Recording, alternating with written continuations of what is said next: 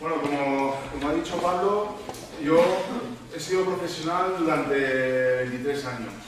¿vale? He tenido 23 años de carrera deportiva, profesional, jugando en el alto rendimiento. Y en mis últimos años, bueno, también mis últimos 10, 15 años, eh, ya empecé a entrenar porteros y porteras. Compaginar última etapa como deportista profesional con el entrenamiento de porteros. Eh, cuando me retiré, decidimos hace tres años, porque me retiré y volví a jugar, pero hace tres años, cuando volví a Grandíes, eh, decidí, junto con Perico García, eh, montar una empresa de porteros, que se llama, se llama Ingoval. Perico llevaba entrenando a porteros, bueno, llevaba entrenando a porteros más de 15 años, yo coincidí con él eh, hará 12 años o así en Granollers, eh, lo tuve por primera vez como entrenador de porteros y a partir de ahí empezamos a trabajar y yo me fui de Granollers, pero yo empecé a trabajar con otros porteros con su filosofía y años después, eh, al volver, decidimos montar una empresa enfocada al entrenamiento del portero y a la portera de balonmano, pero también enfocada a la formación de los entrenadores. ¿vale? Porque no es suficiente que el portero trabaje o se baje vídeos de internet o trabaje tres días al año, sino que lo que necesitamos es enseñar a nuestros entrenadores a trabajar con nuestros porteros. Y un poco la charla que os voy a dar es cómo integrar el trabajo de porteros dentro de nuestros entrenamientos. ¿Eh? Lo ideal es tener un entrenador o entrenadora de porteros que nos ayude y nos haga un trabajo específico. Pero como la mayoría de los casos no podemos disponer de esta figura, pues lo mejor es poder integrar ese trabajo de porteros y de porteras dentro del entrenamiento. Nosotros como empresa actualmente, eh, como ha dicho Pablo, coordinamos en la Federación Española lo que es el trabajo de femenino y el masculino de, de base. Tenemos, creamos una escuela en Granollers eh, hace dos años, una escuela de porteros donde trabajamos alrededor de 40 porteros, entre femenino y masculino. ¿Verdad? Tenemos la suerte de estar en un club donde hay femenino, hay masculino y los dos equipos seniors están en la máxima competición nacional. O sea, nosotros nos da la posibilidad de trabajar desde infantil hasta la categoría senior con eh, chicos y chicas. ¿eh? Aparte de trabajar con todos los porteros de la base, eh, Perico está con el equipo masculino de División de Honor y yo trabajo con las porteras del equipo femenino de División de Honor. Aparte de la escuela de porteros, hay otros clubs, campus y con la Federación Catalana también hay un proyecto de alto rendimiento en el balonmano femenino donde yo voy a entrenar cuatro veces a la semana con las porteras. Bueno, eh, ya empezamos un poco la charla y voy a empezar destacando los aspectos más importantes a trabajar con los porteros, ¿vale? o con nuestras porteras. Primero, vamos a hablar de la condición técnica. ¿Vale? Un aspecto muy importante, la condición técnica, cómo parar, cómo enseñar a parar a nuestras porteras o a nuestros porteros. Hay diferentes escuelas de porteros, hay, eh, está la escuela rusa, la escuela balcánica, la nórdica, hay diferentes maneras de enseñar a un portero a parar. Desgraciadamente en España nunca hemos tenido una escuela, una técnica de portero definida, sino que al final cada uno intentaba copiar de aquello que disponía. En su momento tenía tres vídeos VHS, igual alguno no sabe lo que es un vídeo VHS, pero es lo que había entonces. Ahora eh, la información que podemos encontrar en internet es bestial. Eh, si yo tuviera 15 años, me metería en internet y empezaría a bajarme vídeos de porteros y partidos y es muy fácil copiar. ¿Cuál es el problema? Cuando cogemos un referente que igual no podemos copiar.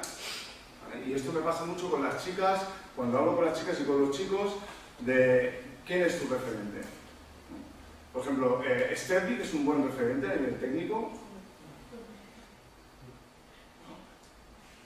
Claro, es que Sterling tiene unas condiciones muy especiales. Y, ¿cómo le vas a enseñar a un portero a parar como Sterling? Cuando mide dos metros, tiene una dimensión de envergadura muy grande, es capaz de ponerte la pierna aquí. Por lo tanto, para empezar, que nuestros porteros y nuestras porteras cojan referentes reales, de unas condiciones lo más parecidas posible a las suyas. Con las chicas me pasa referente, y solo me dicen chicos. Landing, está muy bien, pero ¿cuánto mides? ¿Metro 70? Vale, landing mide 2 metros. Vale, vamos a buscar otro referente. O sea, hay porteras, hay un montón de porteras y buenas.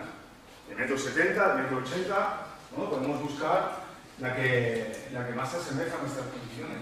Por lo tanto, tenemos que empezar porque nuestro referente sea lo más parecido a nosotros. Yo tenía los referentes cuando era joven, eran Lorenzo Rico y Jaume Ford, que era lo más parecido en estatura a, lo que era yo. No podía coger a Barrufet, no podía coger a otro tipo de porteros que igual medían dos metros y que yo no podía hacer lo que ellos hacían. ¿Vale? Por lo tanto, condición técnica, un aspecto muy importante a enseñar a nuestros porteros.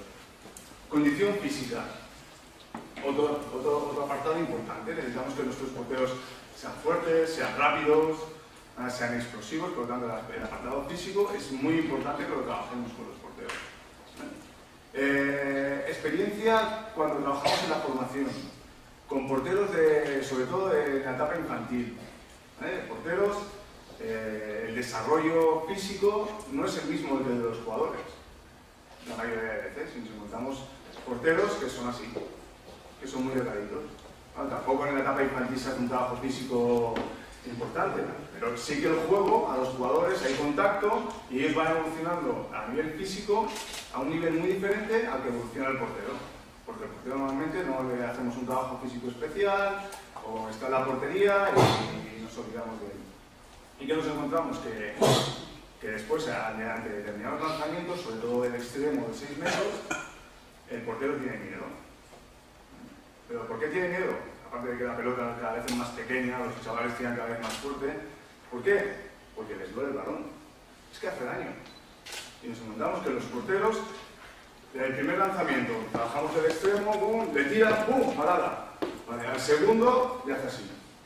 Pero no hace así, por, no, hace así porque pues, le pegan un pelotazo, el cerebro dice, sí, me ha causado dolor, y a la siguiente mi cerebro hace, protégete porque si no te va a hacer daño.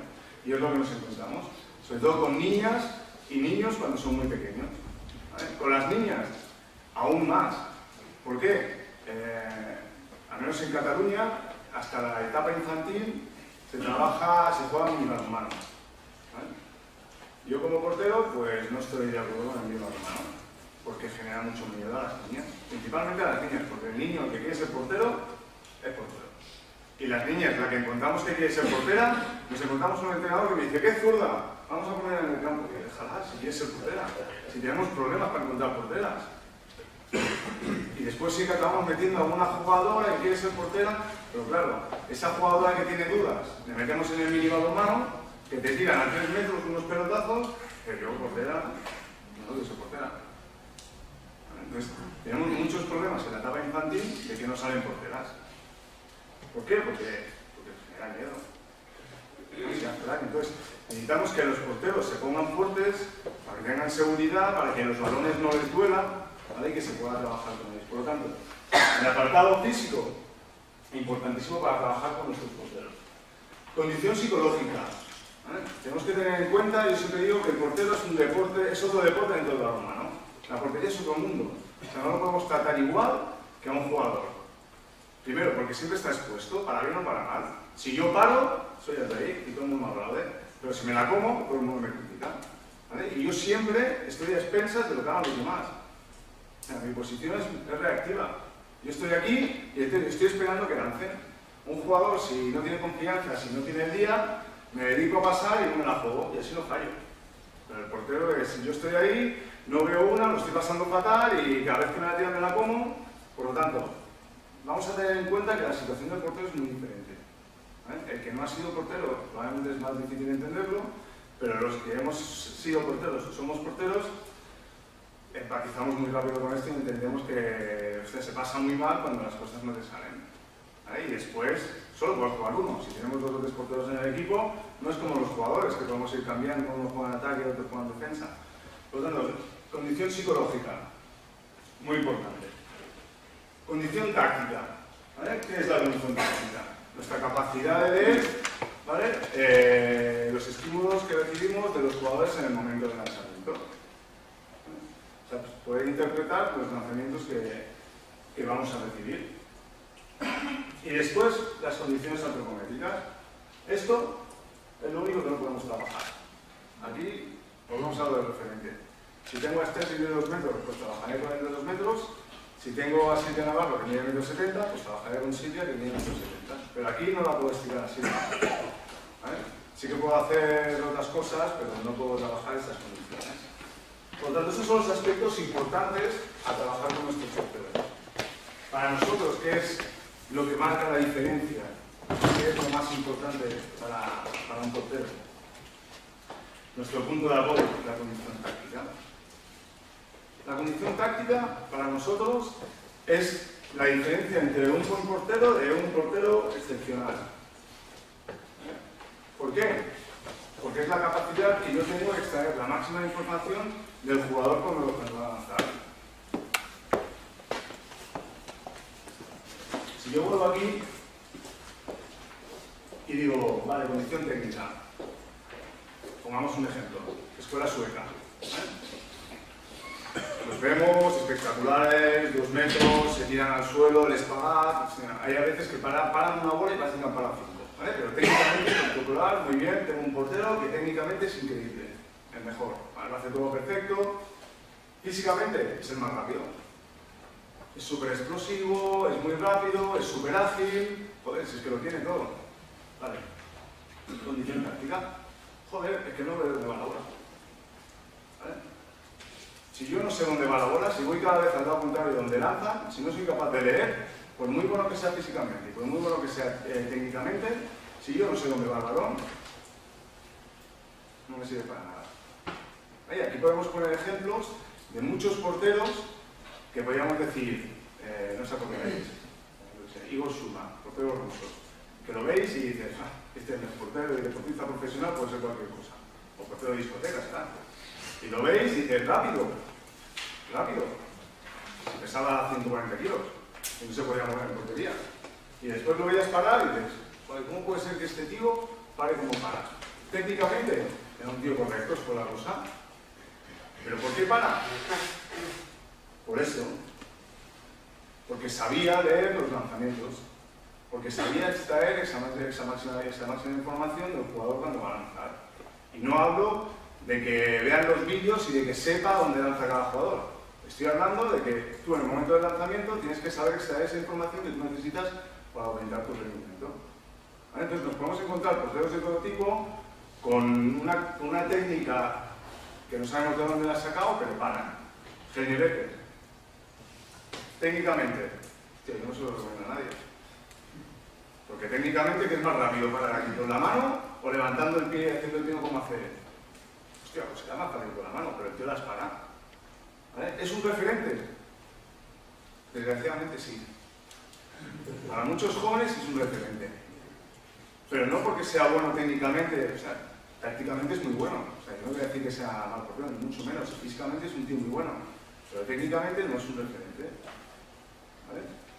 Por lo tanto, de lo que os voy a hablar es de esta condición técnica, cómo extraer la máxima información ¿vale? Como un portero puede extraer esa información que necesita para parar.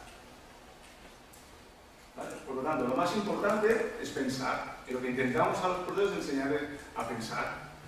Ante un lanzamiento, ¿qué información o qué preguntas me puedo hacer yo para, para tener más efectividad? Vale, vemos. ¿Desde dónde me tira? ¿De dónde viene? ¿Con qué brazo tira? ¿Hacia dónde salta? ¿Cómo arma el brazo? ¿Cómo suelta el brazo? ¿Cómo deja ir la pelota? Todas estas preguntas las tengo que hacer yo en cada lanzamiento. Como habéis visto, he tardado en decirlo, igual vais a recibir tres o cuatro lanzamientos. Pero todas estas preguntas yo me las tengo que hacer y, buscar la solución para tener más efectividad. Tenemos que dejar de lado el mito de que el portero para por instinto. Yo le pregunto a los chavales, salta, para una espagata y para la bola. Bien. digo, ¿por qué la has parado? No lo sé, pero lo ha parado. Y estoy súper contento. ¿Vale? Genial. Si está súper bien. entonces estamos tirando una moneda. Y entonces yo en un partido voy a parar un 60%, pero igual el resto paro un 15, un 20. Y yo como entrenador, yo lo que quiero es que mi portero sea regular. Y principalmente lo que quiero y lo que busco es que toda acción que haga el portero tiene un porqué. O sea, todo lo que haga el portero tiene un porqué. No es eso, que me lleva a la portería ¿Y por qué paras? Yo qué sé, es que por instinto, yo las, me pongo ahí y es que desgraciadamente paramos así. Y yo paraba así hasta que un día conocí a Pedro hace 20 años y empezamos a hablar y dices, joder, claro, si es que tiene que tener un porqué todo lo que hago. Porque voy a estar en la portería ahora sí, me hacen un lanzamiento y soy capaz de parar el mismo lanzamiento de 20 maneras diferentes. Estoy perdiendo tiempo. ¿Vale? Por lo tanto, todas estas preguntas es lo que vamos a intentar resolver. ¿Cómo ordenamos estos estímulos? La primera pregunta, ¿desde dónde me lanzan? ¿Vale? La zona opuesto específico. Ese es el estímulo que vamos a trabajar. ¿De dónde viene? La trayectoria, las diferentes trayectorias. ¿Con qué brazo lanza? ¿Vale? La lateralidad del jugador. ¿Hacia dónde salta? El impulso. ¿Cómo arma el brazo? Vamos a ver el armado del brazo. ¿Cómo suelta el brazo? Hacer el recorrido y después cómo deja ir la pelota, hablemos de habilidades especiales. Estos son los estímulos que, vamos a ver y con los que nosotros trabajamos con nuestros porteros. ¿Cómo ordenamos estos diferentes estímulos? Vale, la categoría infantil trabajamos la zona de puesto específico, la trayectoria y la lateralidad del jugador. En cadete incorporamos el impulso y el armado y en juveniles el recorrido del armado y después las habilidades especiales del lanzador, ya de la categoría senior. Vamos a ver cada uno de estos estímulos. Categoría infantil. ¿vale? Zona puesto específico, trayectoria y eh, lateralidad del lanzador. ¿Desde dónde me tiran? La primera pregunta que me hago, ¿desde dónde me tiran? Ahí tengo que saber si me lanzan del extremo, si me lanzan de primera línea o si me lanzan de pivote. Es desde el centro del. Pero tengo que saber que hay 6 metros, 9 metros y lanzamiento de extremos. ¿Por qué es importante esa información? Para la posición básica. En infantiles empezamos por lo básico. ¿Cómo te tienes que colocar? Cómo te colocas ante lanzamientos de 6 metros, cómo te colocas ante lanzamientos de extremo y cómo te colocas ante lanzamientos de 9 metros. Yo no me coloco igual ante un lanzamiento de extremo que ante un lanzamiento de 9. ¿Vale? Por lo tanto, empezamos, enseñamos. Tienes que diferenciar si me están lanzando del extremo, si me están lanzando del lateral o si me están lanzando del pivote. Y después, la técnica de parada que vamos a utilizar para, que, para enseñarle cómo tiene que parar. Técnica de parada, de lanzamientos de extremo, de lanzamientos de 6 metros y de lanzamientos de 9 metros. Solo con esta pregunta. O sea, ¿de qué me sirve saber dónde tiran? Pues ya sabemos para qué me sirve. Tengo que aprender cómo me tengo que colocar y cómo tengo que parar. Normalmente, los lanzadores lanzan en movimiento, excepto en el punto penalti. ¿Vale? Diferentes trayectorias nos encontramos eh, trayectorias largas y cortas. De primera línea, una trayectoria corta que voy a lanzar sobre mi defensor. Hago una trayectoria larga que voy a lanzar sobre el defensor contrario. Voy al centro voy al lateral contrario. Eh, los extremos, pues me lanza un extremo cerrado o me lanza un extremo abierto. O una salida a punto débil del extremo. Y después de los pivotes, si lanza el giro o si hay un pequeño desplazamiento. ¿De qué me sirve saber toda esta información?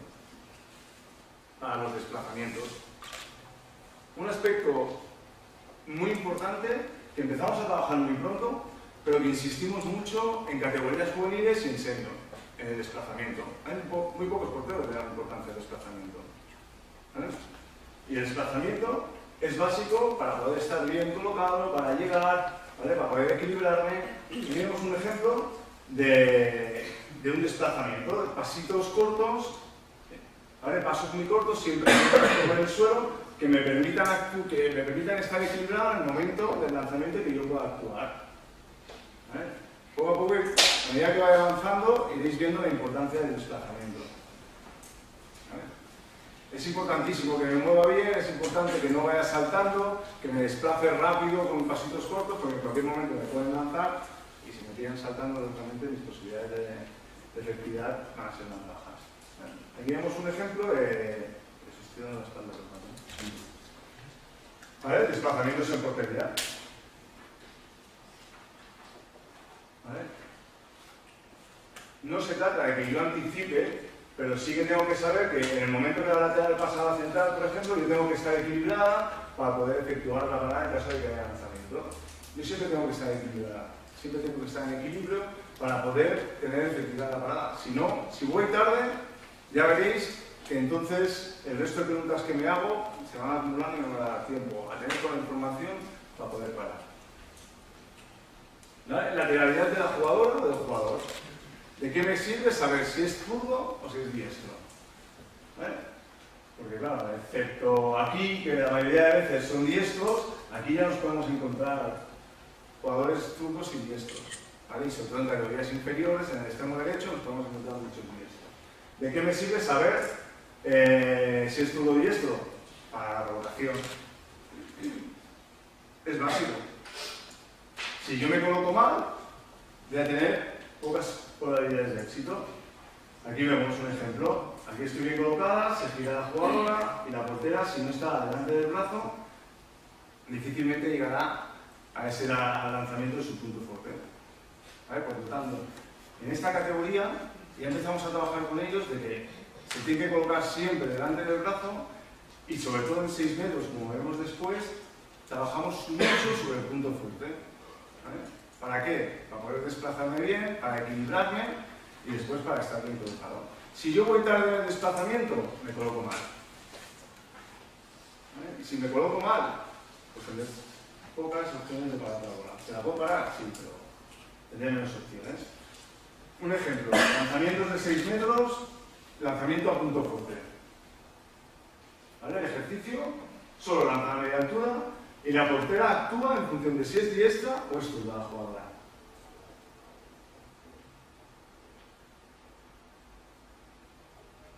¿Por qué? Ella solo se tiene que centrar en si es o diestra, pero ella se tiene que colocar bien. Entonces ella se va desplazando y se va colocando siempre delante del brazo para poder actuar en el punto fuerte de, la lanzadora. Una mala colocación depende de qué jugadores, pues, y depende de la dimensión que tenga la portera. Aquí veréis, hay porteras diferentes. Tenemos una pequeña, una súper grande, y ya veis que la pequeña no llega hasta donde llega la grande. Entonces, si se coloca mal la pequeña, no llegará. La grande, si se coloca mal, pues bueno, es como un Se puede colocar mal, pero claro, se ocupa. Pues bueno, aquí te vamos con algunos años. Por lo tanto, en la categoría cadete, digo, eh, incorporamos impulso y armado. Sí, dime. Si ese edificio, si no disponemos de muchos puntos, ¿qué hacemos? ¿Obligamos a los niños a tirar por izquierda? Obligamos, estaría bien que alguna jugada tirara por izquierda. Aquí no todas son. Ahí, en este ejercicio, en este vídeo, solo hay una fuga. Que ese es otro tema. Vamos a hablar de, igual que había pocas fugas, de pocas fugas, pero bueno. Están muy cotizadas las fugas. Pero claro, si lo que queremos trabajar es que miren el brazo, tenemos que ayudar a que alguna tire por la izquierda, porque si no el trabajo, al final solo va a trabajar una pierna. ¿Eh?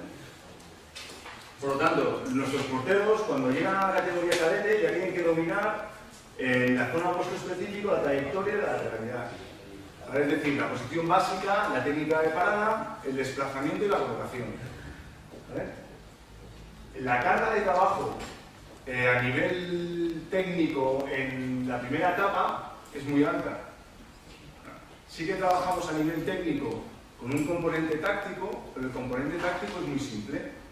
Es muy simple que nos permite enfocar una parte del trabajo en el aspecto técnico.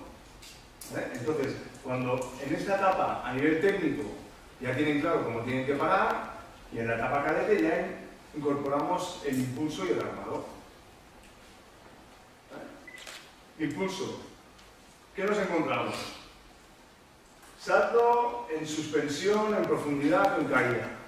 ¿Eh? El jugador, sobre todo de 6 metros, puede saltar hacia arriba, puede saltar hacia el portero o puede lanzar en caída. ¿Vale? Y a esto le tenemos que sumar que a esto puede ir a la izquierda, puede ir a la derecha o puede ser un salto neutro. Por tanto, en cadetes ya empezamos a incorporar que ellos identifiquen el impulso, si va hacia la derecha, si va hacia la izquierda o si salta hacia el portero. ¿Vale? Las zonas de lanzamiento, ¿vale? podemos trabajar con estímulos simples, lanzamientos en caída abajo, en suspensión arriba, derecha izquierda. Sobre todo desde 6 metros intentamos que intente superar la jugadora o el jugador intente superar al portero. Por un lado o por el otro. El lanzamiento en caída, abajo. El lanzamiento en suspensión, lo normal es que me intenten superar por arriba. Trabajamos con estímulos simples. Después ya iremos complicando. Porque me pueden tirar en caída arriba. Claro, me pueden tirar. Pero vamos a ir paso a paso. No vamos a empezar la casa por el. Pues vamos paso a paso. Aquí vemos un ejemplo de cómo un lanzamiento en suspensión hacia la derecha intentando superar al portero. Esa es la visión que puede tener el portero en el lanzamiento. Igual intenta superarnos a la izquierda. Y después un salto, un salto, un salto de en suspensión. Intentará superar y intentará lanzar por arriba. Pues empezamos a trabajar con los porteros para que puedan identificar los diferentes impulsos que se van a encontrar y cómo tienen que actuar. ¿Que impulsan hacia la derecha? ¿Qué tendrán que hacer? Lo que hemos visto antes, desplazarse y colocarse para poder actuar en condiciones. Como ya domina la técnica, como domina la posición básica, como domina el desplazamiento y la colocación, entonces llegará y la podrá parar. Si no lo domina, pues entonces tenemos que ir primero cubriendo los diferentes, las diferentes etapas. Un ejemplo.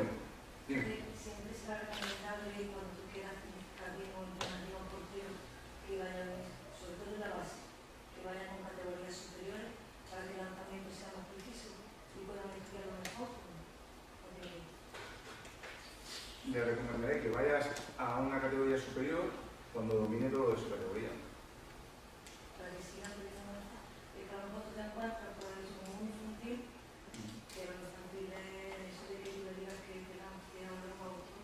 Ya, pero por eso en la etapa infantil eh, el trabajo táctico es muy simple. yo en, infantiles, desde 9 metros, ¿cómo trabajo para que aprendan la técnica de parar arriba? Yo les enseño cómo tienen que parar arriba y el estímulo, en vez de ser una fila y yo tiro a la derecha y a la izquierda, yo pongo un estímulo muy simple, que es que el jugador decida si va a la derecha o a la izquierda. Hace una trayectoria, va a la derecha y tira a la derecha, y va a la izquierda y a la izquierda. Es un estímulo súper simple. Entonces el portero tiene que reaccionar en función de lo que ve. Porque si yo hago derecha e izquierda, el portero no mira. No mira, el portero viene aquí, una, después va aquí y va al otro lado. Y va de un lado a otro, pero no está mirando. Entonces yo lo que quiero es que actúe en función de lo que ve. Y como el estímulo que le estoy dando es la trayectoria, vale, tú a la derecha, a ver, pues tú vas a la derecha, digamos. Que es muy simple, es muy simple, pero yo lo que estoy trabajando principalmente ahí es la técnica. ¿Eh? ¿Te lo quiero complicar? Claro, después también tenemos lanzamientos libres, no debes pensar que solo hacemos, no, no, hay lanzamientos libres. Pero como vamos por etapas, el lanzamiento libre, ¿cuál es tu? No te puedes, no puedes anticipar. No te puedes anticipar. O sea, yo, mire, yo cuando hablo con los porteros y trabajo con los porteros, yo no les digo que la paren. Yo les digo que no te puedes equivocar. Ya la pararás. Porque, claro, si yo hago así y salto cada vez que me tiran, alguna pararé. Y si encima la para y yo vengo por detrás, muy bien, encima de paradón, ya, y después lo vuelvo a hacer están tirando un bote, no está aprendiendo. No, no, te puedes anticipar. De 9 metros, me da igual que llegues tarde, ya llegarás. Pero yo lo que quiero es, que veas el estímulo. De 6 metros igual. Y tú actúas en función de lo que ves. Y después, poco a poco, ya, ya verás que llegas. Y llegan. Pero claro, si yo acostumbro a portero a que... Porque ellos no, no son tontos. Si ellos ven que conocen a los jugadores, ah, es que Pepito siempre me tira aquí y yo entonces voy ahí. ¿Pero por qué? Porque es Pepito. No porque está con el brazo tirándome ahí. Entonces, recomendar que entren en una categoría superior cuando dominen bueno, seguimos. Impulso punto fuerte. Un ejemplo. Lo que hablamos, igual que hemos visto el, salto, pues aquí la jugada va a su punto fuerte y la, portera actúa. Y es lo que hemos hablado antes. La posición básica, el, desplazamiento, la colocación, ¿vale? y después actúa. Lo mismo lo vemos en un partido. Supera, pero es que miramos antes. Mirad el movimiento de la portera, cómo se va colocando en el contraataque. Se desplaza y en el último momento reconoce que le va a superar y entonces va y cierra.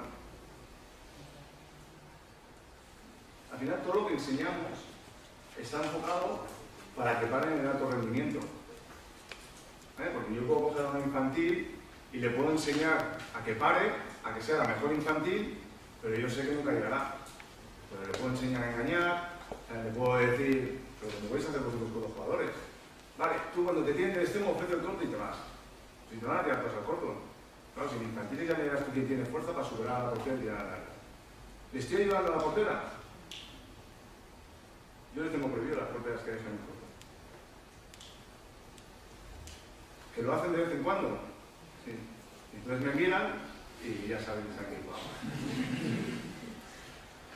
Pero porque es formación. O sea, yo les enseño para que lleguen ahí arriba. Joder, es que yo no necesito levantar la pierna, es que había... Vale, si tú paras mucho siendo infantil, vale, pero ¿quieres llegar arriba? Vamos a trabajar para lo que necesitarás cuando llegues arriba. Y cuando necesites arriba, pues necesitarás levantar la pierna, necesitarás impulsar más, necesitarás una serie de cosas que tú ahora mismo no haces porque no necesitas, porque tu efectividad no, depende de eso. Entonces, vamos a enseñar a que tú puedas competir en el alto rendimiento. Que a veces parece que va en contra del rendimiento inmediato y no es así. Pero claro, igual es más fácil decirle a una portera eh, en un partido importante, esta tira siempre al largo arriba. Y claro, tira siempre al largo arriba. Y la para. ¿Te estoy ayudando? ¿Qué es más importante, ganar o formar? Aquí después Yo soy eso, yo trabajo sobre las fronteras. ¿Vale? Eh, seguimos. Lo mismo, impulso, punto de débil. Yo me giro, la portera se coloca, volvemos, ¿eh? es todo el rato de, recordando la posición básica, el desplazamiento, la técnica de parada, acompañar, ¿vale? Y ahora estamos trabajando sobre el impulso y un ejemplo de impulso.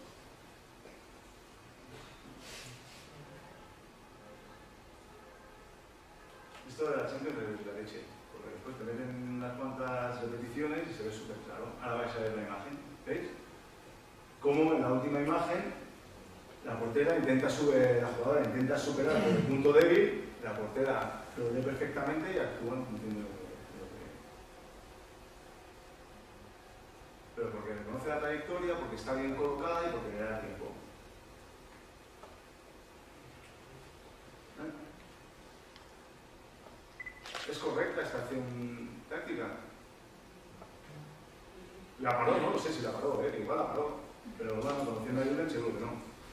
Pero, pero igual la paró. Pero actuó bien. Si es que yo les prohíbo saltar desde 6 metros. Les podemos saltar a no ser que te venga un jugador con el brazo aquí. ¿Por qué? Porque si yo salto estoy perdido. O sea, que yo pueda reaccionar en el aire y la pare, sí, pero volvemos a la moneda. Pero si yo estoy equilibrado y tengo los pies en el suelo, yo tengo el tiempo de ver lo que, la información que me da para que yo pueda actuar. Si yo salto, le estoy dando información al jugador. Y, lo vemos y, yo les pregunto, no, no saltéis. ¿Tenéis que saltar o no tenéis que saltar? Si el lanzamiento es a velorías, tendrás que saltar. Pero si tú saltas, porque sí, salto siempre, porque me han dicho que tengo que ocupar portería, pues entonces no vamos en la misma dirección. Que es nuestra forma de trabajar, ¿eh? Ni es la mejor ni la peor, sino que es nuestra forma de trabajar. Seguimos, armado de brazo. ¿Qué información nos da el armado de brazo? Saber cómo armar el brazo pues la posible localización del, lanzamiento, del lado del lanzamiento. Si va a ir a la derecha o va a ir, a, la izquierda. Un armado clásico, lanzamiento que va al mismo lado de la lateralidad o el rectificado que va al lado contrario.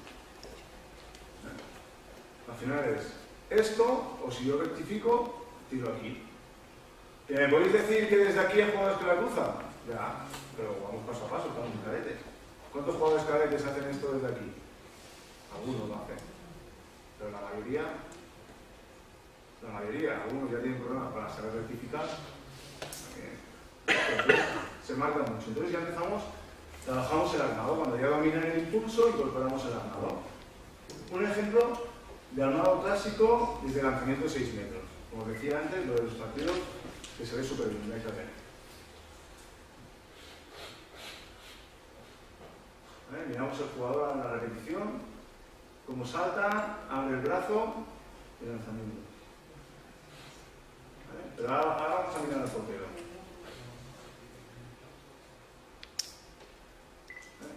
Vemos cómo el portero le da tiempo, se desplaza, se coloca bien, acompaña al jugador, consigue leer el estímulo del armado y ataca en función de lo que ve. ¿Vale? Mismo, mismo portero, mismo jugador, minutos después.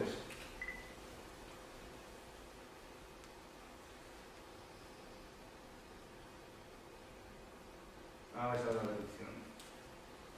Mirar el jugador.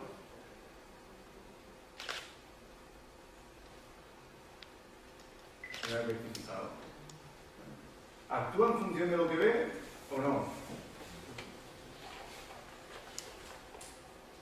¿Qué pensáis?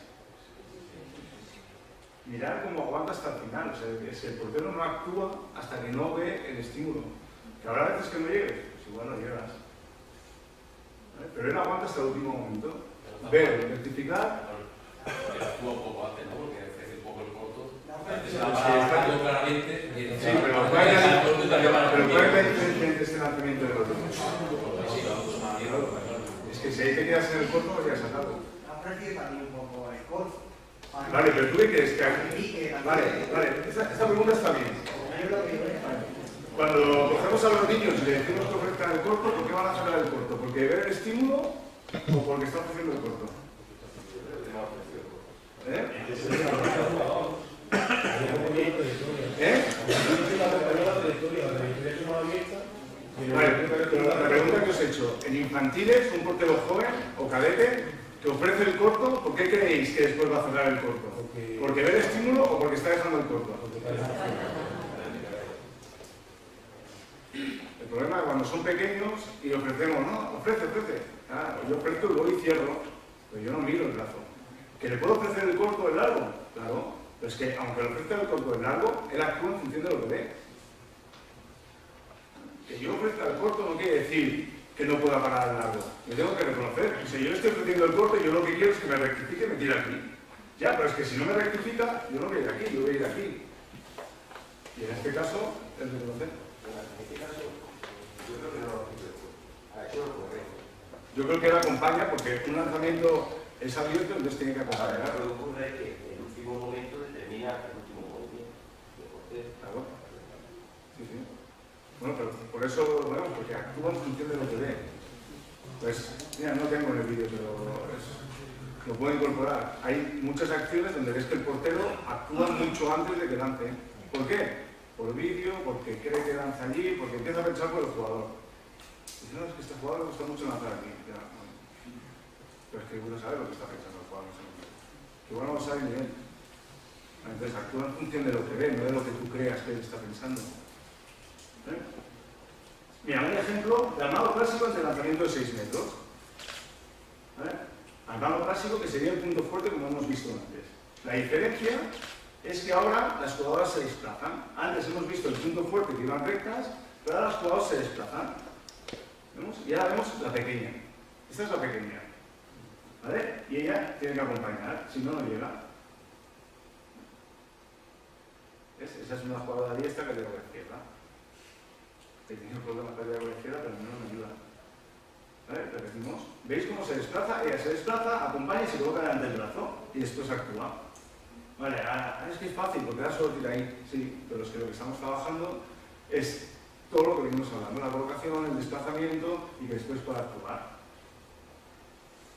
Y como estamos incorporando el armado, pues ahora trabaja en función solo del brazo, no del impulso. Vale, ahora haremos lo mismo, pero tira el rectificado. ¿Vale? Y ahora hemos puesto al grande. Joder, ya lo tengo más fácil. ¿Vale? Pero ahora actúa en función solo del armado. Claro, están todas tirando rectificado. Sí. Más fácil. ¿Sería conveniente cuando son pequeños que les diera algún tipo de decreto o un... No, esto del es casualidad. No, ¿Tú crees que depende la cabeza del color de camiseta que lleva el jugador para que la No, función pero de cuando empiecen a identificar el tipo de lanzamiento, por ejemplo, Pero otro, o le va a No, porque, que porque si yo le digo que va en función de la camiseta, ella no me va a mirar el brazo. Entonces a mí ya no me interesa, porque los del equipo contrario van todos iguales. Entonces, claro, estímulos, es- son estímulos reales. Estímulos reales que te puedes encontrar tú en el partido. Si yo le pongo una camiseta y que lanza, otra cosa es que le ponga una camiseta para, porque resulta que es un jugador que hace bueno, pero no para que el lanzamiento vaya en un sitio o. ¿Vale? Hemos visto rectificado. ¿Vale? Ahora hacemos lanzamiento de 6 metros libre, donde solo marcan con el armado. ¿Vale? Ella hemos hecho un ejercicio donde identifican el punto fuerte, el armado clásico, y donde identifican el rectificado. Y ahora haremos el lanzamiento libre. Están lanzando ellas libres a media altura. ¿Vale? Entonces la, portera se tiene que colocar que desplazar, colocarse bien, saber qué técnica utilizar y sobre todo mirar el brazo. Que es lo que estamos trabajando, que miren el brazo. ¿Que la paga o no? A mí lo que me interesa es que no se equivoque.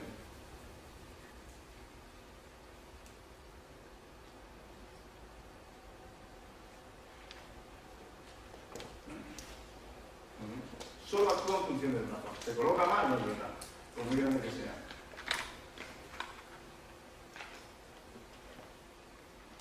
Pero aquí el objetivo ya no es el impulso, ya no es la trayectoria, vamos incorporando estímulos cada vez más difíciles y más reales que se pueden encontrar en la competición. Ah, Solo actúa en función del brazo, da igual que vaya a la derecha, que vaya a la izquierda y que salga hacia un lado o hacia otro. Solo me interesa el brazo. ¿Vale? Ahora el armado del brazo es de 9 metros. Ya hemos visto cómo es de 6 metros, ya hemos visto cómo es del extremo, pues desde 9 metros es igual. La única diferencia que para el portero es muy difícil si no tenemos una colaboración. Pues si no hay defensores y nos vienen desde, desde 9 metros un lanzamiento a 80, 100, 120 km por hora, pues tenemos poco tiempo. Pero aún así, trabajamos solo con el estímulo del brazo. ¿Vale? Con defensora, ¿qué intentamos? Que la defensora nos ayude, que nos facilite el que nosotros podamos reconocer el estímulo del brazo. Es lo que llamamos el lanzamiento paralelo. Yo como defensora, ¿qué le decimos a las defensoras? Que se coloquen delante del brazo. Habréis visto, habréis leído, habréis estudiado diferentes maneras de, colaborar con los porteros. Yo voy al largo, tú vas al corto. ¿Vale? Yo, como quieras. ¿Vale? ¿Nosotros cómo hacemos? Delante del brazo. ¿Qué queremos? Que el lanzamiento vaya recto. ¿Por qué? Para que el portero lo pueda ver. Si yo le digo al portero que vaya siempre al corto y el defensor al largo, si va al largo, ¿qué hace el portero? Nada, está en el corto. Entonces no le estoy enseñando a parar. Claro, si yo tengo a Chepi, pues igual es más fácil y me coloca todas en el largo. Pero es que los jugadores no están quietos esperando que venga el lanzador, sino que están en movimiento. Por tanto, ¿qué es más fácil para el jugador? Oye, que no llegas, brazos arriba delante de los ya me espabilaré. Yo necesito ver esa información. ¿Vale? Entonces, en estas etapas que trabajamos, lanzamientos rectos, el portero tiene que identificar el lanzamiento paralelo. ¿Vale? Después ya vemos si la llega, no se puede equivocar. ¿Lanzamientos cruzados hay? Claro, ya llegaremos a los lanzamientos cruzados. A mí lo que me interesa es que identifique el lanzamiento paralelo y que la, y que la pare.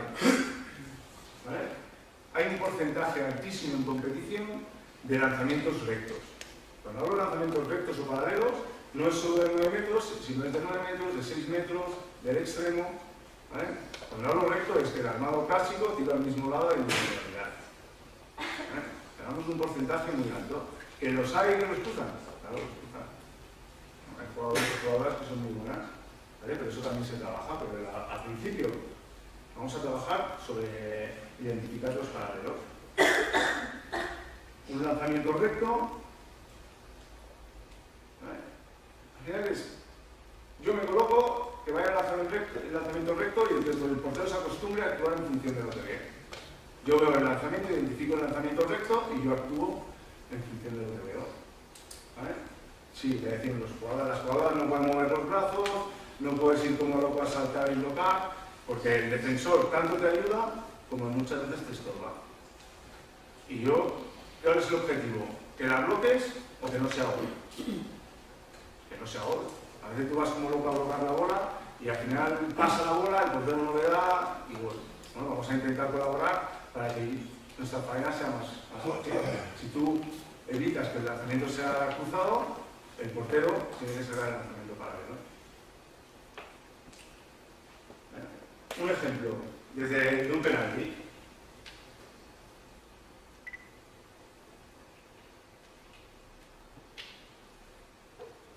A la repetición, aguanta y armado clásico. Intenta engañarle con el cuerpo en caída hacia el otro lado, ¿vale? Y aguanta y el brazo. Casualidad. Bueno, no, Silvia no. Casualidad. Otro ejemplo. Reciente.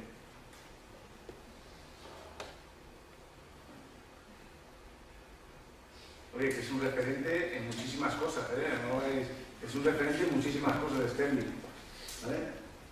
Pero a nivel técnico, o mides dos metros y tienes las mismas condiciones que él, o es difícil.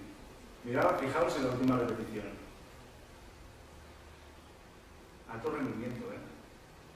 Mae. O sea, un superjugador. Y el tío marca el brazo. ¿Eh? No todos hacen esto y esto. Que lo sabe hacer, sí que lo hace, pero... ¿Vale? Por lo tanto, cuando pasamos a la categoría juvenil, ya dominamos el puesto específico, trayectoria, lateralidad, impulso y el armado del brazo. Y en juveniles, ¿qué incorporamos? ¿Vale? Lo complicamos un poco más, el recorrido del brazo. ¿Qué es el recorrido del brazo? ¿Vale? Yo con el armado del brazo ya identifico el lado donde me lanza, ahora lo más difícil es identificar la altura del lanzamiento. Yo ya reconozco que el, lanzamiento va a este lado. Ahora tengo que identificar a qué altura va. Si va arriba, si va abajo o si va a media altura. Aquí un ejemplo. Salta, aguanta, acompaña, identifica y para algo abajo. ¿Vale? Y después lo vemos que sucede lo mismo en un partido. Es lo más difícil. Lo más difícil es poder identificar si el lanzamiento va arriba, si el lanzamiento va abajo. ¿Cómo podemos trabajar el recorrido del brazo? Pues con estímulos muy diferentes. Claro, ya no trabajamos con derecha o izquierda. Ahora tenemos que trabajar con dos estímulos en derecha o en izquierda. ¿Vale? Que él pueda reconocer, que el portero pueda diferenciar en el mismo lado si le están tirando arriba o si le están tirando abajo. Desde 9 metros probablemente es más fácil porque tenemos más tiempo para ver el balón, pero desde 6 metros lo tenemos que identificar muy bien. Porque si yo levanto la pierna me tiran abajo, malo. ¿Vale? Por lo tanto, en juveniles trabajamos mucho cómo identificar. Para empezar, pues un lanzamiento arriba y un lanzamiento abajo. Un estímulo muy diferente que el portero pueda diferenciar y que pueda empezar, que no la para, no pasa nada. Si a mí lo que me interesa es que la veas. Y aunque actúe escape, pero que vayas. Y después, poco a poco, que su cerebro vaya asociando esos estímulos con esas respuestas. ¿Vale? Aquí otro ejemplo de 6 metros.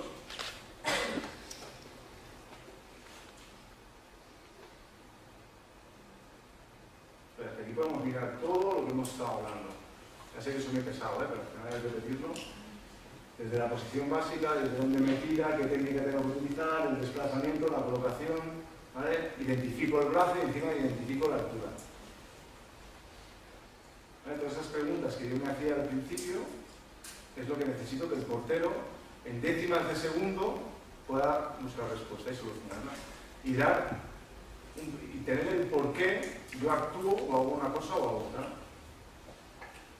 Un ejemplo de lanzamientos paralelos, ¿vale? Salta, el jugador colabora y el portero, claro, desde nueve es más fácil identificar, a no ser que me anticipe.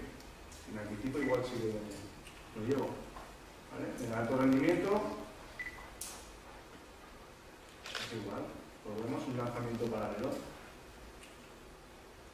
¿Vale? Y después ya nos queda incorporar las habilidades especiales, que puede ser la etapa senior, ya, pues que ya empezamos a ver habilidades especiales en otras categorías, cadetes, en juveniles. ¿Vale? Sí que son lanzamientos no habituales, más del alto rendimiento, lo que hablamos de estos lanzamientos cruzados, lanzamientos más atípicos, ¿vale? Cuando tú ya dominas los paralelos, el desplazamiento, cuando ya dominas todo eso, ya empezamos a incorporar esos lanzamientos que son más difíciles. Si yo empiezo por lo difícil, realmente me cuesta muchísimo más. Habilidades, roscas, roscas invertidas, yo no sé si fue al quirófano después de este lanzamiento. Pero claro, de un armado normal, en el último momento, es que no sé qué hace con el codo. Y con la muñeca. Y en el último momento se saca un lanzamiento de habilidad que ¿cómo la paro? Solo hay una opción, no anticipar. ¿Qué tengo que hacer? Aguantar más. Claro, yo voy conociendo después los jugadores y las jugadoras contra las que juego. Ahora es muy fácil tener información, ¿vale? Pero la información hay que saber utilizarla. Eh, esto podemos hacer una, otra charla de una hora o más de vídeos, ¿vale? Pero es que yo puedo tener mucha información, pero yo tengo que saber utilizarla.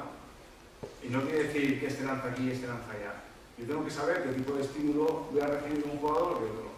¿Qué variedad tiene el lanzamiento? ¿Que tiene habilidades? Yo sé que no puedo, no puedo anticipar. Porque si yo anticipo, va a hacer esto en el brazo. Y entonces yo no llevo. Pero claro, estos son estímulos de alto rendimiento. Estas roscas, aunque vemos roscas en categorías inferiores, creo que como estas, pocas. En el alto rendimiento también es difícil. Por tanto, el portero también está preparado y trabaja para parar este tipo de lanzamientos. ¿Gonzalo lo ve o no lo ve este lanzamiento? Aguanta hasta el último momento. ¿Por qué? Pues probablemente porque sabe que Edberg tiene este recurso, que aunque vaya a punto débil y vaya con el brazo aquí, en el último momento es capaz de soltarte el brazo. ¿Qué hace? Aguanta hasta el último momento. Ve que baja el brazo y lo abre y dice, ahora es, ahora es la cosa. Nuestro amigo está aquí. Claro. Vamos, me refiero que en esta categoría es normal y entiendo que será bastante dejado un colectivo de lanzamiento. Claro, claro. Esto, ya es alto rendimiento. Ya esta es la última fase del alto rendimiento. Claro, es difícil en determinadas categorías, claro, si no tienes información. Claro, tú vas a ir a decir, si te encuentras uno que estás así en primera nacional, en dos con. Pero claro, hay estímulos que tú sí que los puedes trabajar en tu equipo, porque ya tus propios jugadores lo, lo, lo hacen. ¿Vale? La cosa es Mira, lo que hace un screamer, lo hacen pocos. Así, ¿eh? La busca normal ¿eh? Y con la potencia de tira. ¿Vale? Otra habilidad de nuestro amigo que aquí. ¿Eh? Esto es mejor que le llama chapa, a ti. ¿Vale? Pero es que volvemos a ver la, volvemos a ver la repetición. Mirar la repetición, mirar el dibujo, mirar el rectificado, es un armado y, y estética actúa para parar el balón a ese lado, pero en el último momento suelta la bola y le da tiempo a reaccionar y meter el gorro. Y medalla de oro. Esta fue la semifinal, ¿no? Vamos, aseguramos la plata. ¿Eh? Ese es un resumen de una acción correcta, que podemos repasar todo lo que hemos visto. ¿Vale? Desde identificar desde dónde me lanzan, la posición, la trayectoria, la posición básica. Lo vemos, miramos al jugador, salida a punto débil, salta, rectifica, ¿vale? intenta superar al portero y lanza media altura. Ahora miramos al portero, el portero sale, acompaña, identifica el estímulo y actúa en función de lo que ve. Y dices, no, pues igual no sabe, joder, igual la siguiente acción se fue al otro lado. Ya, pues que trabajamos para que no se equivoquen. O sea, para que yo tenga mayor éxito, lo normal es que sepa lo que hago y que actúe siempre en función de lo que veo. Que no quiere decir que no, que, no pueda ser proactivo. Volvemos a lo mismo, yo le puedo dejar el corto, pero así yo voy a actuar en función de lo que él hace. Yo sé que estoy dejando el corto, pero no dejo el corto para cerrar y que me tire al lado una marca. Por lo tanto, resumiendo, las diferentes categorías, cómo trabajamos, qué diferentes estímulos tienen que dominar antes de pasar de categoría. Todo puesto específico, trayectoria, ¿vale? todo lo que se ha repetido durante toda la charla. ¿vale? ¿Cómo vamos a trabajar esto con nuestros porteros? ¿Cómo vamos a integrarlo en nuestro trabajo diario? ¿vale? creando situaciones lo más reales posible. No me sirve de nada tener al portero en una portería solo en el otro lado o fuera del campo y trabajándole todo el entreno con pelotas de tenis. ¿Que hay un apartado que puedo hacer? Por supuesto, porque yo puedo trabajar cosas muy específicas, pero no puede ser la base de mi trabajo. O sea, la base de mi trabajo no puede ser ni trabajar solo técnica, ni trabajar solo ejercicios físico-técnicos, no, mi trabajo tiene que ser aquí una parte física, una parte técnica y un componente muy alto a nivel práctico. ¿Por qué? Porque es lo que me voy a encontrar en competición. Yo en competición no me voy a encontrar un doble y una pelota de tenis, ni 20 lanzamientos a la. ¿Vale? ¿Que le puedo sacar rendimiento a un trabajo muy específico? Sí, pero no puede ser la base de mi trabajo de portero. ¿Vale? Por lo tanto, crear situaciones lo más reales posibles. Trabajar con estímulos visuales. Estímulos que el portero pueda reconocer en función de la categoría en la que estamos trabajando. ¿Vale? Si es el armado, si es el impulso, si es la trayectoria. Estímulos que el portero pueda reconocer. Variar continuamente la fase de preparada. Intentamos que el portero juega a diferentes alturas. O sea, que reciba lanzamientos del extremo, del pivote y de 9 metros. Que no siempre sean lanzamientos del extremo o lanzamientos de 9. Que lo obliguemos a desplazarse.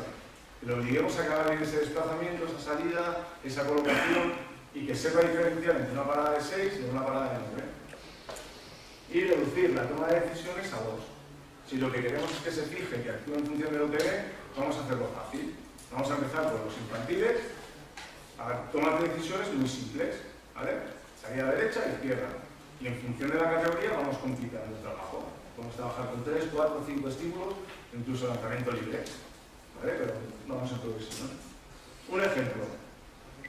¿Vale? Donde vamos a ver cómo trabajamos con auto específico. Sí, sí, ya acabo. Sí, sí, está bien.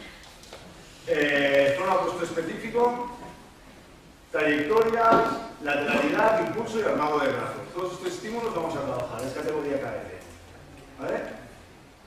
Vais a ver, siempre inician centrales con un cruce donde hay lanzamiento de 9 metros, donde hay que identificar el paralelo o no, porque el lanzamiento es libre, ¿vale? Después hay un lanzamiento de 6 metros. El lanzamiento de 6 metros es como el ejercicio que hemos visto antes, armado. Eh, es lanzamiento libre a media altura. Y la portera tiene que identificar el lanzamiento. ¿Vale? Por lo tanto, aquí trabajamos todo a puesto específico. Estamos trabajando 9 metros y lanzamiento de 6. Trayectorias, ¿vale? En 6 metros. Hacemos de 9 metros trayectoria larga al centro y de 6 metros la trayectoria libre. La lateralidad. Tenemos que actuar en función de si está absurda. Me tengo que colocar, me tengo que desplazar bien. El impulso, desde 6 metros es libre. ¿Vale? ¿De qué información hay el impulso? El desplazamiento que me coloque bien. ¿Vale? Y lo último es la armada de brazo. Actúo en función de lo que veo. ¿Vale? Categoría caete. Aquí estamos trabajando en lanzamiento a media altura desde 6 y lanzamiento libre desde 9. Esto es un ejemplo de una tarea práctica. ¿Cómo trabajamos? Pues siempre hacemos el trabajo, el calentamiento de porteros, lo hacemos más largo de lo normal. En división de honor, ah, yo no tengo problema. Cada día tengo mis 20-25 minutos de trabajo con las porteras. Y el calentamiento, en vez de ser derecha e izquierda, ya es todo trabajo en función de todos los estímulos y en función de lo que estamos trabajando. Excepto a final de semana, que lo que preparamos es el partido del rival. Pero de la misma manera. No trabajamos esta tira aquí, esta tira allá, sino trabajamos sobre los estímulos que nos vamos a encontrar. ¿Vale? Conclusiones. El trabajo, el práctico enseña a parar de forma consciente. Si yo quiero eh, actuar y tener un porqué a todo lo que hago, tengo que ser consciente de lo que hago. Y por eso vamos paso a paso, para enseñarle al portero por qué tiene que hacer las cosas, no actuar de forma inconsciente. Sí que el objetivo final es eh, generar una serie de mecanismos que pues, empezamos trayectorias simples. El portero, después de dos años trabajando las trayectorias, trabajando eh, los desplazamientos y la colocación, llega un momento que ya no tiene que pensar si has jugado el diestro zurdo o si va a la derecha o a la izquierda. Ella ha automatizado eso. Llega un momento cuando pasa carete, el portero ya no es, vale, acuérdate de esto, no, es que eso ya, ya lo domina. Ya no se tiene que parar a pensar. Vale, ahora tienes que pensar solo en el impulso. Cuando dominas el impulso, empiezas, empiezas a pensar en el armado, hasta que, lleguemos, hasta que llega el partido de que yo ya no me hago todas esas preguntas. ¿Vale? Mi cerebro ya actúa automáticamente. Ya sabe que ante este estímulo tengo que utilizar esta respuesta. ¿Vale? Ante un lanzamiento arriba largo tengo que parar de una manera. ¿Vale? Pero eso lo tengo que definir en mi formación. Si yo tengo diferentes maneras de parar, ahí tengo, genero un conflicto en mi cerebro, que lo único que consigo es llegar. ¿Vale? Pues al final es saber lo que hace el portero. O sea, el portero tiene que saber por qué actúa. Y es parar de manera consciente. El trabajo táctico en porteros jóvenes aporta experiencia. ¿Eh? Siempre vemos que los porteros eh, destacan cuanto mayores son. Claro, porque llevamos muchísimos años de competición, muchísimos lanzamientos, muchísimos entrenamientos, y al final nuestro cerebro ya actúa solo y ya sabe que, que cuando él va aquí, pues puede lanzar aquí. Entonces, pero yo no sé por qué lo hago. O sea, es que ha recibido tantos lanzamientos que ya él identifica cuál es el estímulo para la resolución. Pero si yo enseño al portero desde joven a tomar este tipo de decisiones, pues probablemente llegaré a mi tope mucho antes. O sea, no tengo que esperar a tener 28 o 30 años para estar al mejor momento de mi carrera. Puedo llegar mucho antes, es más, y crecer muchísimo más. Y después un trabajo táctico convierte un portero excepcional.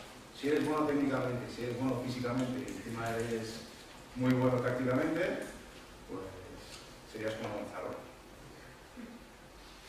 ¿Vale? Fácil. Y con esto, vamos, si tenéis alguna pregunta. Sí, sí, sí, sí. Bien. No te. ¿Cómo este trabajo a un equipo, este- esta metodología, a un equipo que es un juvenil que no tiene una experiencia previa en este tipo de trabajo? ¿Cómo lo adaptas? principio. Empezando desde el principio. Lo que pasa es que la- que va mucho más rápido. Va mucho más rápido porque lo va a identificar mucho más rápido.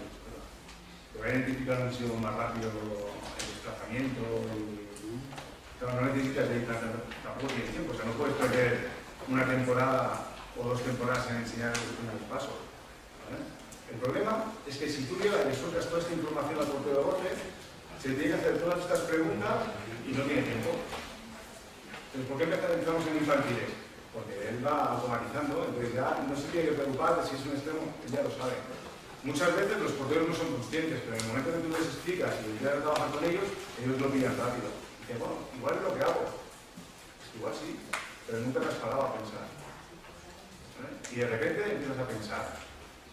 Y lo mejor de todo es que llega un momento que tú hablas, hablo con las porteras y, ya no habla, tú me dices, "Hostia, yo, yo no viajo con el equipo, yo solo estoy de Y el lunes, cuando me reúno con las porteras de División y hablo con ellas sobre el partido, yo veo el partido antes y hablo y les pregunto, ¿qué tal?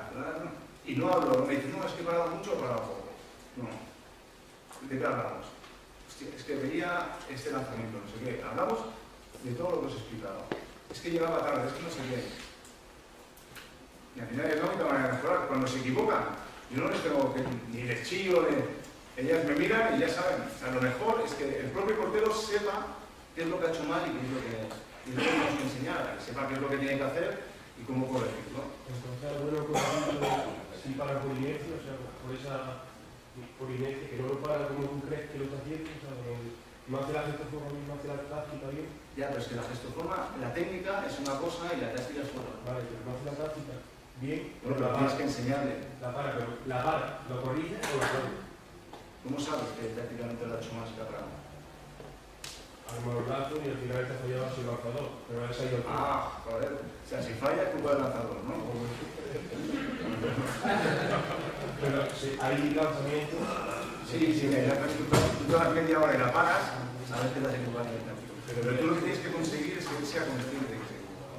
Eh, esto es como todo, ¿eh? por ejemplo, levanta la pierna antes que tú se lo ves, Pero, pero, pero, eh, esto, esto es como todo. O sea, hay jugadores que son increíbles, físicamente increíbles, técnicamente ya, pero después llega la hora de competir y la toma de decisiones es un, des- un desastre. Y que no hay manera que entren en el sistema. Con los porteros pasa igual. O sea, yo he tenido porteros y porteras que por mucho que les enseñe, oye, que no, que no entienden. Y que no son capaces de concentrarse. Y, pues, que es como los jugadores. Y la diferencia es la toma de decisión. Y esto es la toma de decisión de los porteros. Actualmente entiende lo que ves. El jugador, la bola interior, cuando le pasa al pivote, no es porque el pivote tiene tres defensores encima. Pues la pregunta que hace tiene sentido. O sea, tú estás viendo que tu portera levanta bien antes, ya ha parado. Se No, no, no, pensando no. en. A ver, es que, no, a ver, una cosa, en un partido, es que yo no soy partidario de estar protegiendo al portero en un partido. Si yo le digo al portero todo lo que tiene que hacer, ahora has hecho mal, ahora tienes que hacer esto, eh, a los tres minutos está desconectado. Es imposible. Este Y te digo por experiencia, si yo tengo enterado que estoy todo el rato lo que tengo que hacer, oye, llevamos una semana preparando el partido. ¿vale? Yo ya sé lo que tengo que hacer. Si lo hago mal, me cambias y después lo hablamos. Pero si yo tengo que estar protegiéndole, o sea, lo que no hago durante el entrenamiento, que tienes que parar aquí, o sea, si yo lo que pretendo en el partido es que actúe de forma automática, o sea, yo a las porteras, nosotros trabajamos y durante los entrenamientos tenéis que pensar, no os podéis equivocar. En el partido, os olvidáis. El partido vais a parar la bola. O sea, no quiero que perdáis tiempo pensando, porque si pierdes el tiempo pensando, no llegarás. Llegará un momento que en el partido sale solo. ¿Vale? Y eso no es una semana para otra. O sea, llevas meses trabajando y llega un momento que en el partido lo que estás trabajando y lo que ella está pensando durante el entrenamiento sale solo. Pero yo no le puedo pedir en el partido que esté pendiente de todo, de dar paso, no, porque si no hay tiempo. Y yo lo que tengo que conseguir es que su cerebro vea esto y ya automáticamente, pum, pum, pum, y luego salgo y la pago. O no, pero no sé si me he explicado. Sí, sí. Dos preguntas más, Alfredo y Juanca, y terminamos, ¿vale?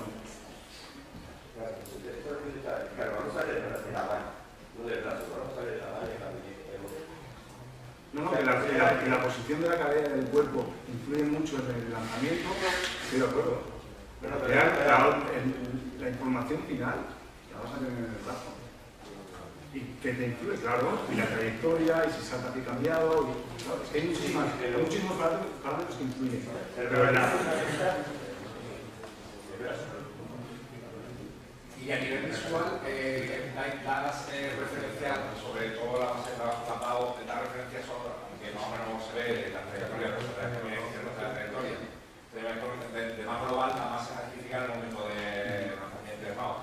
Pero trabajáis sobre el tema visual, específicamente. O sea, ¿dónde centrar? en la mirada, Sí, eh, pero en, en el momento final, ¿no? El lanzamiento. La información que nos da la trayectoria, el desplazamiento y demás es por estar bien colocado, por desplazamiento.